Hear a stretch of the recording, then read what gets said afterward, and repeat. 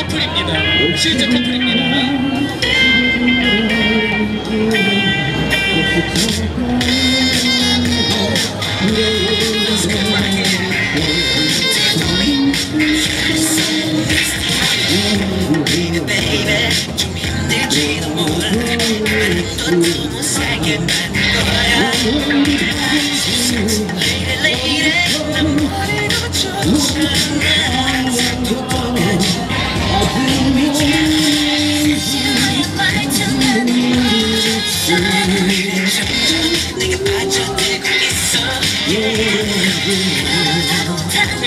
우리 인생 대표님을 잘 기억해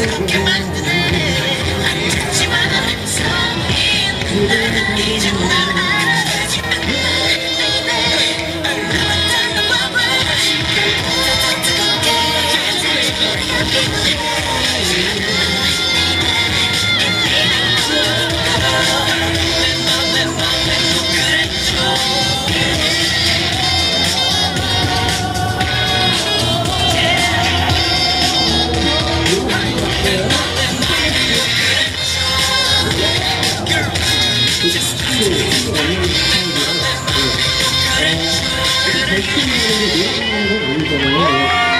SK 생각 출신이고요. 강원대학교를 졸업하고